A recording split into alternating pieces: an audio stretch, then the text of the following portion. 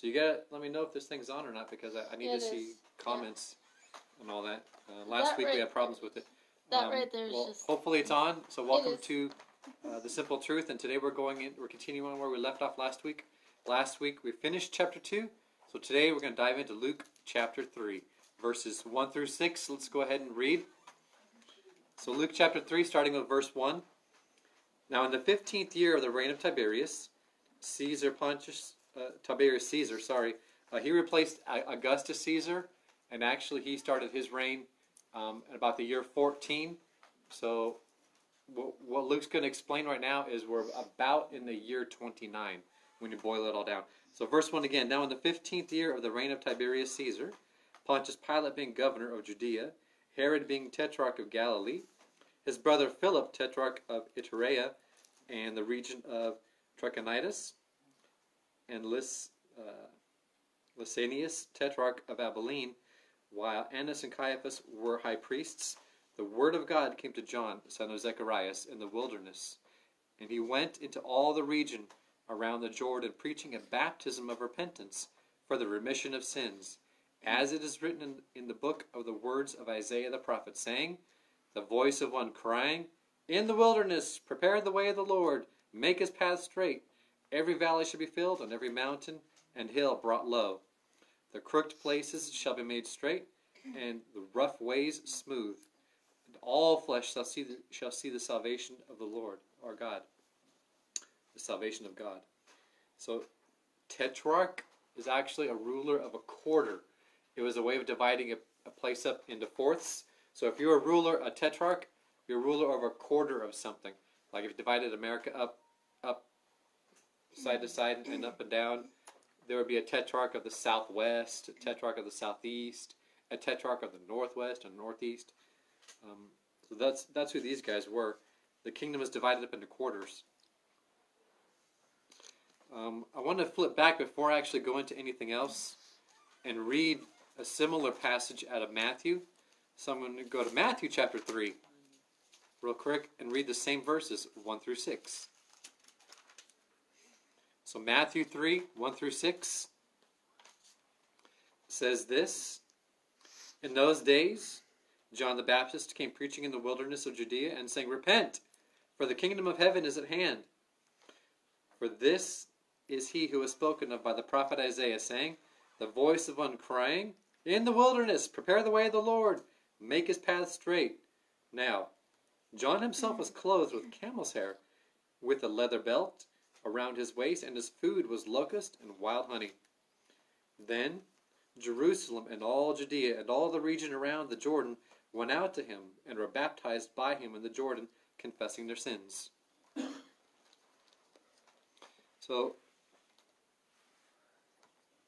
in verse 2, of back to Luke chapter 3, we have the calling of God on his life.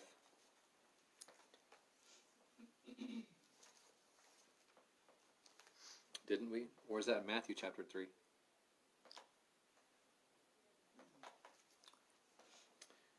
No, the word of God came to, to John, the son of Zacharias. And I want to read a little bit about the calling of God. It's something that you know, we've experienced and come across in the Bible. If you're a student of the Bible for any length of time, you realize the call of God is something you just can't ignore. If you think you can, just ask Jonah.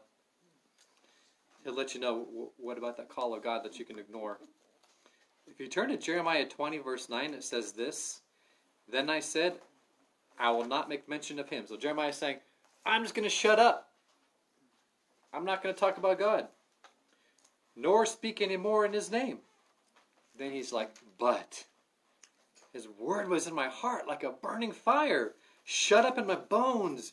I was weary of holding it back. I couldn't. I could not. So there comes a time when the call of God is on you and you know it. You try and hold it back, try and keep shut, but you just can't. You've got to speak it out. There just comes a time when it demands you speak up and speak the word of God. And this was that time.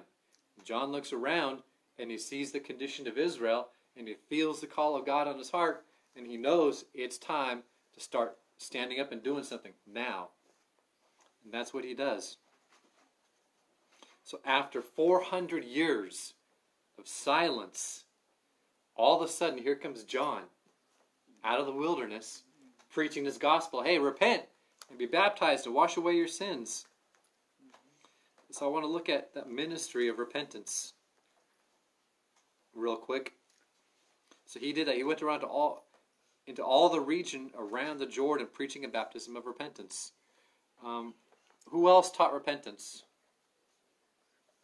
It started with Solomon in his prayer in 1 Kings chapter 8 verse 47. Uh, he taught repentance. If we repent, Lord, in turn, would you hear from heaven and heal the armies? You know, if we go out and fight, Lord, and we realize we've sinned and we're defeated, if we repent, would you then hear and rescue us? Job taught repentance in dust and ashes at the sight of God in Job 4 42 I'm sorry Job yeah 42 verse 6 God called Israel to repentance through Ezekiel in Ezekiel 14 verse 6 and Ezekiel 18 verse 30 he taught them to repent and turn. He basically explained what repentance was when he taught it there. It was repent and turn. And in that those days they had a problem with idolatry. So his teaching was repent and turn from your idols Joel taught repentance in Joel 2 12 through 14. John, of course, taught repentance. Jesus also began his ministry. If you look at Matthew 4 17, that's the first thing he said. After his wilderness temptation, the next thing Jesus said was, Repent. Peter, what's the first thing out of Peter's mouth? You know, when they asked him, What do we do? When he was filled with the baptism of the Holy Spirit, he's preaching and they say, What do we do? He said, Repent. Acts 2.38. As did Paul, he also taught repentance. Acts 29, 19, and 20. And again, lastly, you have the climax of repentance taught in the book of Revelation, chapters 2 and chapters 3. Seven times Jesus calls the church to repentance. So the, the word of repentance and the ministry is all through the Bible, both Old Testament and New Testament. It was taught to Jews, Gentiles, Christians. Can you believe that? Even the church had to be retaught repentance again because even the church slipped from grace.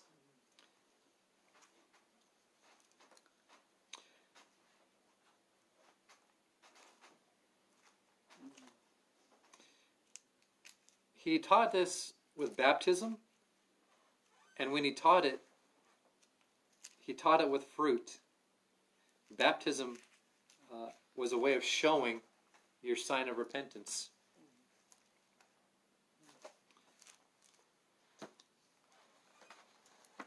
And this was God's word to man after 400 years of silence. Repent. Let's go ahead and continue on. Start at verse 7.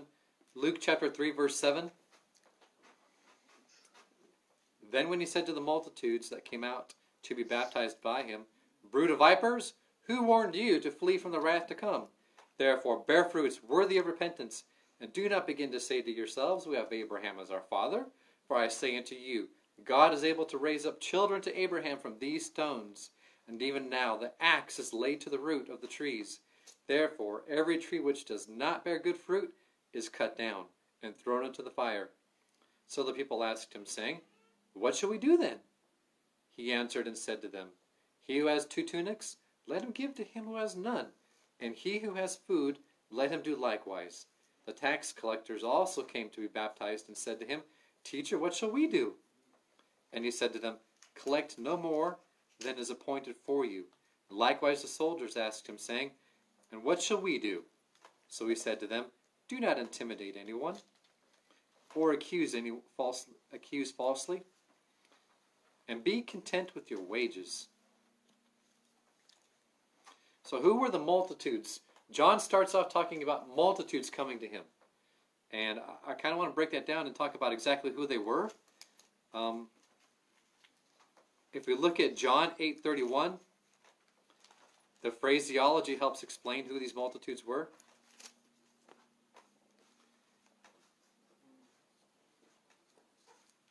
John 8:31 says this, Then Jesus said to those who believed him, If you abide in my word, you are my disciples indeed. And you shall know the truth, and the truth shall make you free.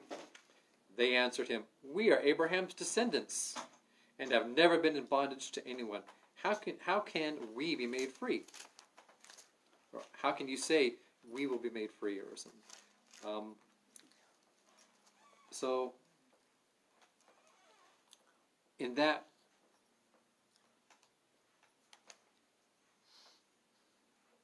in trying to figure out who these multitudes were, they said, We are Abraham's descendants. And that's part of who the crowd was who came to him. If you go back to Luke 3, verse 8, they said, We have Abraham as our father. And in that chapter, that portion of John, then Jesus said to those Jews, it was the crowds of Jews, the leadership primarily who were coming out to him, who were saying, We are Abraham's descendants in 8, John 8:33. If you want to go back to Matthew 23, it also helps qualify who those crowds were that came to him. In Matthew 23, the same two verses, 31 and thir- through 33, explain that. So Matthew 23, 31 says, Therefore you are witnesses against yourselves that you are the sons of those who murdered the prophets. Fill up then the measure of your father's guilt. Serpents, brood of vipers. So there's another phrase to help qualify who they were the brood of vipers. How can you escape the condemnation of hell? So it's those people that came to him, the Jewish leadership, uh, the, the people who thought they had it all together, the Pharisees, the Sadducees, who were accusing Jesus. Uh, these were the ones that came out to John trying to figure out who he was and are being baptized. And John was saying, Hey, who warned you to come out? Who told you about all this, about repentance? So, but John didn't turn anybody away. If they came out to him, he dunked them. that was it. So be baptized. Repent for your sins. This obedience is kind of paradoxical in that it requires faith to obey, and obedience brings and produces faith. It's kind of like it happens at the same time. Consider Peter getting out of the boat. Did he have faith to get out of the boat before he obeyed? Or did his obedience produce the faith to get out? Which came first? I think it was an instantaneous thing, and that if you want faith, you have to exercise obedience. That's what produces faith. Uh, consider Peter and John leaving their business, their income, everything they knew when Jesus said, Follow me. They obeyed, and then in that instance of leaving everything, it cost them a lot. They got up and left their income, left everything, and follow Jesus. That's where faith came in after the obedience. Consider Matthew the tax collector. Matthew, follow me. He got up from his income, from his business of tax collecting, left everything to answer the call. So, which came first, the faith to answer the call or uh, to obey, or the obedience? Did that produce the faith to do this? I think it's uh, it's an instantaneous thing. When you make that decision, that choice, and in spite of how it looks, because it didn't look too well for Peter, John, Matthew, leaving all that they had, their business and everything, to all of a sudden get up and follow Jesus, knowing not knowing their future, totally uncertain. Who knows what this brings? All we know is this guy doesn't have a place to lay his head. That's where I think true biblical faith comes in. It's in the act of obedience, especially when you answer the call of the Lord and it costs you. Consider the others who were called out of their occupations, uh, who some wanted to go back. Lord, let me go back and do this. Lord, let me do that. Let me go first bury my, my father. Let me go first bid my friends farewell. What was Jesus' thing? He said, No, let the dead take care of their own. Mm-hmm. And if you put your hand to the plow and turn back, you're not fit for my kingdom. If you're going to answer the call, you do it. And you don't look back. And that requires a huge measure of faith. Yeah, that what saves is that's the most important part faith. Faith, yes. And so also repentance requires faith, which produces actions. And faith requires repentance, obedience. It's, it's the same thing. Do you have faith to repent, or does your repentance bring faith? It's the same thing. It's obedience. And whatever your obedience is in repentance um, or, or following Jesus, it'll bring that faith. Earthly associations will not save you. Okay? Um, denominationalism, uh, which my mentor, Mr. Watchman Nee, teaches against, um, removes you from the body of Christ. He put it. He put it this way. I want to read. I, I don't want to misquote him, so I want to read what Mr. Nee said. So Watchman Nee says this: One who has seen the body of Christ and who thus possesses the consciousness of the body feels unbearable inside when he does anything which may cause division or separate God's children. For he loves all who belong to God and cannot divide his children. Love is natural to the body of Christ, whereas division is most unnatural. It is just as in the case with our two hands. No matter how many reasons one hand may be raised against the other hand, there is no way to sever their relationship. Division is simply impossible. Perhaps a person is proud of himself for being one who has left a sect and thus deems himself to be a person who knows the body of Christ. As a matter of fact, however, leaving a denomination is not necessarily the same as or an indication of seeing the body of Christ. It is quite true that whoever discerns the body is delivered from denominationalism. But who can claim he has apprehended the body of Christ simply because he has left a denomination? Outwardly, many have left a denomination, yet they simply set up another kind for themselves elsewhere. Their leaving the denomination merely demonstrates their own latent feeling of superiority. They fail to comprehend that all the members of the body and their brothers and sisters are our brothers and sisters and therefore are loving. For this reason, let us realize that all sectarian spirit, divisive attitude, outward action, or inward thought which separate God's children are the unfailing signs of not knowing the body of Christ. In another book, he made it a little more sharp. And he explained that to put yourself into a denomination takes you out of the body of Christ. Because in Christ, there is no division or denominationalism. So the body of Christ is the body of Christ. It is one. It's one. So what John what John was explaining here is um, is don't say to yourself that we have Abraham as our father. You cannot look to an association. Well, we were this, or well, we're that. Nothing on earth matters towards your salvation.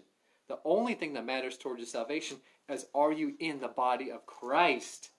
With all the other millions of us around the world, whether they're Chinese, Indonesian, Canadian, Hispanic, doesn't matter. We're all the body of Christ. One. And uh, that's that's it, it just baffles me how the enemy has had so much success in dividing the body of Christ, putting us one next to another. So somebody wants to become a Christian. Where do they go?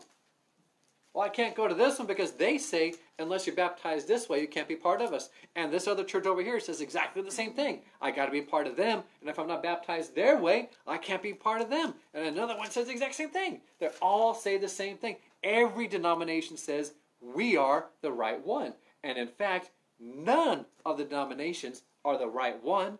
One is the right one. One faith, one body, one baptism, one Holy Spirit, into which we are all baptized. That's it. There is no other. And John does that, lays the axe to the root, and says, hey, you guys, you cannot put faith in being born a Jew. Because there's stipulations even on that. Have you been circumcised? Well, then you're not really a Jew. Do you attend the three feasts that Moses commanded in Numbers? every year as a good Jew should, or else they said, no, you're cut off from your people. You see all the requirements and all the, the rigmarole and stuff you have to do? No. It's one body, and you're either in or you're part of a denomination. So choose you this day who you're going to serve. Um, thank you, Mr. Nee, for your words, and uh, I'm sure when we get to heaven, um, I, am going to run after after I spend about four billion years at the feet of Jesus, um, thanking Him for having mercy on on a, a worm like me. I'm going to find Mr. Nee and shake his hand, and, and I'm going to start introducing. Hey guys, uh, you remember me talking about this in the Bible study? Mr. Nee. So I'll show it to you when we get there. Um, I have a note about verse nine. What did verse nine said? And now the axe is laid at the root of the trees. Therefore, every tree which does not bear good fruit is cut down and thrown into the fire. These religious leaders were relying on their being born Jews for their salvation. But John is calling them out and teaches the teachers first. He addresses the leadership. I want to go to 1 Peter real quick. And somewhere I missed my verse 5, my James verse.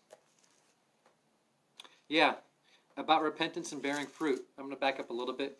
In James 1, speaking of repentance and bearing fruit, James 1 22, of course, we all know this, but the doers of the word, but be doers of the word and not hearers only, deceiving yourselves. For if anyone is a hearer of the word and not a doer, he is like a man observing his natural face in a mirror, for he observes himself and goes away and immediately forgets what kind of man he was. But he who looks into the perfect law of liberty and continues in it, and is not a forgetful hearer, but a doer of the word, of the work, this one will be blessed in what he does. If anyone among you thinks he is religious and does not bridle his tongue, but deceives his own heart, this one's religion is useless. And I did not intend to really get on this, but this goes into verse 16, which we're not talking about today, uh, dealing with the baptism of the Holy Spirit. The first thing, the first sign that's, that that typically accompanies this all through Scripture is a change in the person's language. When they were baptized in the Holy Spirit, what's the first thing that happened? Tongues of fire fell on them, and they started talking something else. It's more often than not, it's a change in speech. What happened to Peter as soon as he was baptized in the Holy Spirit? He started preaching like he had never preached before. Okay? And at that preaching, 3,000 people were saved. Um, but but it, repentance is always followed up with works. If you go a little further down in chapter 2 of James, verse 14, it says, What does it profit, my brethren, if someone says he has faith but does not have works? Can faith save him? If a brother or sister is naked and destitute of daily food, and one of you says to him, Depart in peace, be warmed and filled, but you do not give him the things which are needed for the body, what does it profit? Thus also faith by itself does not, if it does not have works, is dead. But someone will say, You have faith, and I have works. Show me your faith without your works, and I will show you my faith by my works. You believe that there is one God? You do well. Even the demons believe and tremble. But do you want to know, O foolish man, that faith without works is dead? So he's he's going to go into this with them pretty heavily. That if you really want this baptism, it has to be followed up. Because then they said, What do we do? And he answers the, the question What do they do? Um, verses 10 and 11 went back to Luke 3. If we review verses 10 and 11, so the people said to him, What shall we do then? He answered and said to them, He who has two tunics, let him give to him who has none, and he who has food, let him do likewise. Uh, John gives some practical examples of expressing repentance, which are the same practical actions that we just read about in James. If you see somebody who, who needs, you give it to them. You don't hold back. Uh, 12 through 14, this is where he really gets into it. Um, when tax collectors came to him and soldiers came to him, these were two really despised groups in Israel tax collectors and the soldiers the treacherous in Israel, the treacherous Jews were working, the traitorous ones, for Rome as tax collectors. And then you had the occupying soldiers. But notice that John did not call them out of their job. He didn't say stop collecting taxes. He didn't say stop being a soldier. He said in your job, in that occupation, do it with honesty and integrity. If you have to work for the IRS, be honest about it. Be fair about it. Don't be like past administrations who have used the IRS to attack certain groups and prevent them from, from being a 501c3 company, you know, with volunteer status. Uh, it, it's not right. If you're going to have an occupation and do a job, do it with integrity. If you're going to be a politician, have integrity. If you lose your integrity, you've got nothing. Notice how John did not call them out of their jobs, but simply said to them, Be honest in your tax collecting. And to the soldiers, be content. As we need to work with honesty and integrity and being above reproach and have an unimpeachable character, you can't call yourself a Christian and cheat the time clock, steal time from your employer by wasting it on social media or doing substandard work instead of the very best work as unto Christ. And then call yourself a Christian? And misbehaving like that? It, it, it doesn't it doesn't gel, you know, it just doesn't click. Um, if you're gonna be a Christian, you've got to walk the walk or simply take the bumper sticker off your car. You, you can't have a, a Jesus saves bumper sticker be driving 90 miles an hour down the freeway. Just take the bumper sticker off. Don't embarrass Christ. A Christian's work ethic must be the highest and best the world has ever seen. Regardless, it doesn't matter what kind of an employer you work for. The employer, there's no qualification in the Bible for employer. It goes from one end to the other. Okay, the Bible talks about all employers the same, whether they're slave masters or whatever, it doesn't matter. All employers should be treated the same by Christian workers no matter what your lot in life is, it's do your best. Be that example, because in so doing, you will heap coals of fire on their head. So, verse 15 is kind of interesting. And this is the last verse we're going to study today.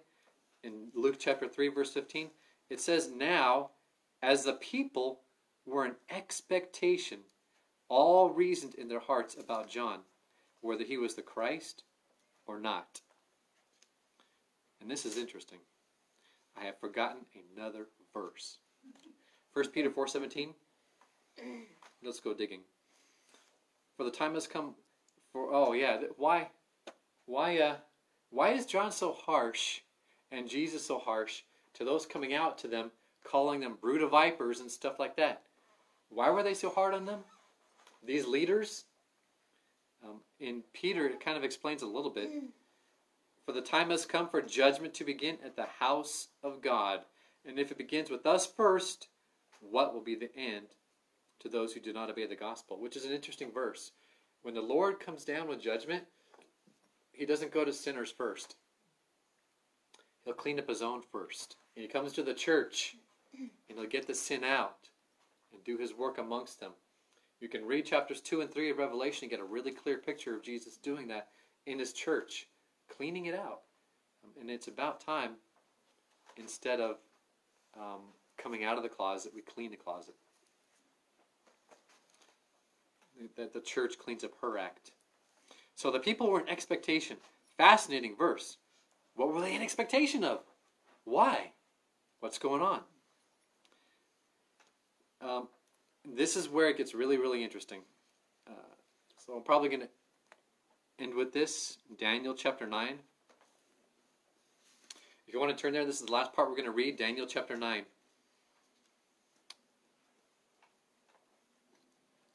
Daniel 9. Yep, you can find. Want me to help you?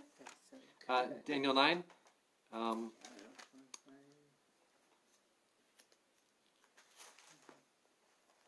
it took place.